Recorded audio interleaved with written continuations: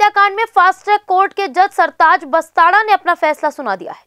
आपको बता दें कि निकिता हत्याकांड में अदालत ने दोनों दोषी तोसीफ और रेहान को आजीवन कारावास की सजा सुनाई है। अदालत का ये फैसला आज यानी शुक्रवार को तीन बजकर पैंतालीस मिनट पर सुनाया गया है। फरीदाबाद कोर्ट में निकिता हत्याकांड मामले में जज सरताज बस्ताड़ा का ये अंतिम फैसला भी है चूँकि उनका ट्रांसफ़र हो गया है। बता दें कि 24 मार्च को जज ने आरोपी तोसीफ और रेहान को दोषी करार दिया था। बताते चले कि 26 अक्टूबर 2020 को दिन दहाड़े कार सवार दो बदमाशों ने मिल्क प्लांट रोड पर अग्रवाल कॉलेज से परीक्षा देकर लौट रही बीकॉम फाइनल ईयर की छात्रा निकिता तोमर की गोली मारकर हत्या कर दी थी। लहूलुहान हालत में उसे पास के निजी अस्पताल ले जाया गया, जहाँ डॉक्टरों ने मृत घोषित कर दिया था। हत्या के बाद वे भागने में भी कामयाब रहे थे।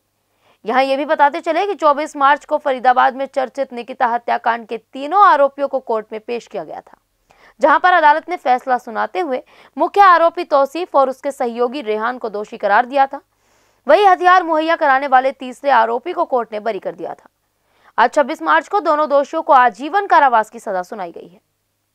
वर्डिक जो आया है, उसके हम रिस्पेक्ट करते हैं but we are not satisfied with the judgement तो definitely as a matter of right है तो कि उसका कि हम हायर कोर्ट में अपील करेंगे और अपने जो फैक्ट्स हैं, जो अपने एक स्ट्रॉन्ग डिफेंस हमने स्टार्टिंग से ही प्रोवाइड किया था इसमें और हमने ये चीज़ इंश्योर की थी कि इवन आफ्टर काफ़ी थ्रेट्स तक आई थी स्टार्टिंग में भी। उसके बाद मेरे को हाई कोर्ट में एप्लीकेशन तक पटिशन तक मूव करनी पड़ी जिसके बाद हाई कोर्ट ने डायरेक्शन इशू की और उसके बाद सीपी ऑफ़ फरीदाबाद को भी डायरेक्शन इशू की थी।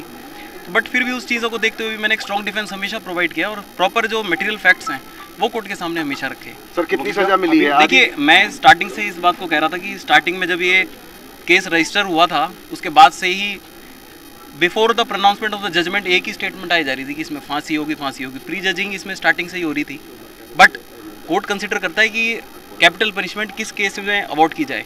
Rarest of the rare category के पैरामीटर सेट किए हुए सुप्रीम कोर्ट तक ने तो ये case single bullet injury murder case है। That too on the non vital part तो इसमें कैपिटल पनिशमेंट अवार्ड नहीं की जा सकती। सिंपल अभी क्या सजा मिली अब उसको लाइफ इंप्रिजनमेंट की है 302 में।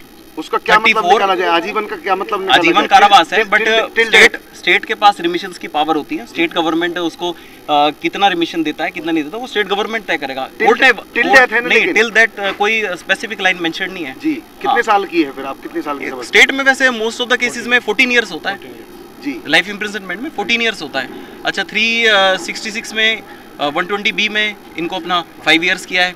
और 302 में अपने लाइफ इंप्रिजनमेंट के साथ 20000 फाइन किया है ईच और आर्म्स एक्ट में सिर्फ़ तोसिफ को 27 ऑफ़ द आर्म्स एक्ट में फोर ईयर्स इम्प्रिजनमेंट अभी 30 दिन का आपको समय मिलेगा आपको हाईकोर्ट देखेंगे अभी जो अब डिटेल्ड अभी ऑर्डर आएगा उसको देखेंगे पढ़ेंगे क्या फैक्ट्स मेंशन है उसमें क्या है क्या नहीं है उसको देखने के बाद ही।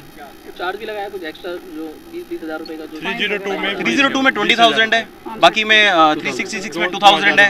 आर्म्स एक्ट में भी टू थाउज़ेंड है। अजरू को पहले एक्विट कर दिया था कि उसके खिलाफ इतने एविडेंसेस थे prosecution fail to prove the charges against him आप कोर्ट की कार्रवाई से संतुष्ट हैं? देखिए रिस्पेक्ट करते हैं हम जजमेंट रिस्पेक्ट की बात नहीं संतुष्ट बट संतुष्ट जजमेंट से हम सेटिस्फाइड नहीं क्योंकि इसमें बहुत मटेरियल डेंट्स थे प्रोसिक्यूशन की साइड में कि अपना एक आई विटनेस नहीं था इस केस का। आई विटनेस जो एक थी निकिता शर्मा थी उसने कोर्ट में एविडेंस के टाइम में भी बताया था आइडेंटिफाई नहीं कर पाई थी किसी भी अक्यूज को तो इसमें आइडेंटिफिकेशन नहीं थी। दूसरा गन थी जो जो फायर आर्म था उस पर फिंगरप्रिंट्स नहीं थे। तो बहुत सी चीज़ें थी जो अपने हमने काफ़ी डिफेंस दिया था। सीसीटीवी एक मफल्ड फेसेस थे। सीसीटीवी में किसी भी फुटेज में उसका फेस क्लियर नहीं है। किसी भी फुटेज में। ये तो चलिए स्टार्टिंग में इसको मीडिया हिप हो गया था तो उसमें इसको उछाल दिया गया इसको मैटर इतना हो गया। अदरवाइज़ अगर मेरिट वाइज देखा जाए मीडिया ने नहीं उछाला वकील साहब आप देखिए हत्या हुई थी। नहीं नहीं हत्या हुई थी इसको मानते हैं। तो नहीं ये तो मानते हैं बट बट एक बात आपको बता दूँ मैं क्लियर कर दूँ। कोर्ट की जो प्रोसीडिंग होती है इमोशंस पे नहीं होती एविडेंस पे होती है। ठीक है? तो ये चीज़ आप सभी ध्यान रखो। डिफेंस का राइट हर किसी का है। हमने स्टार्टिंग से अच्छा डिफेंस प्रोवाइड किया है। आप एक बात बताइए। जब आप ये हमारा जब आप डिफेंस कर रहे थे तो आपने ये डिफेंस में जो लड़की की हत्या हुई कौन मार गया फिर उसको? पुलिस का फेलियर है ये? पुलिस का फेलियर तो हम नहीं कह सकते। हम इस बात में क्या कमेंट करें? बाकी ये है कि अगर चार्जेस अक्यूज के अगेंस्ट अगर फ्रेम किए हैं तो प्रोसिक्यूशन की ड्यूटी है कि उसको प्रूव करें। तो कुल मिला के अब आप इसको हाई कोर्ट में देखिए डेफिनेटली हम हाई कोर्ट मूव करेंगे। थैंक यू सर कितना संतुष्ट है इस फैसले से देखिए जो भी अदालत ने फैसला दिया है वो सम्मान करते हैं उसका लेकिन इस फैसले से हम संतुष्ट बिल्कुल भी नहीं है। और इसके लिए जो भी आय कार्रवाई होगी उनको फांसी पर चढ़ाने की हम ज़रूर करेंगे।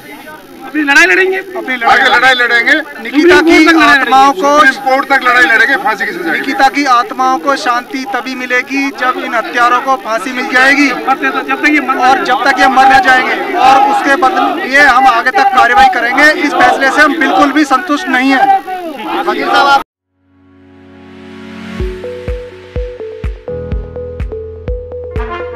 ब्रेकिंग न्यूज़, रास बसेरा आपके लिए लेकर आए हैं खास मौका। वो भी हरियाणा सरकार की अफोर्डेबल हाउसिंग योजना के साथ, जिसके तहत आपको मिलेगी छह लाख रुपए तक की सुविधाओं के रूप में सब्सिडी जैसे कि free parking EDC IDC free club charges free और मेंटेनेंस फ्री और कोई हिडन चार्जेस भी नहीं। तो आज ही बिना देर किए अपने सपनों का घर बुक करें।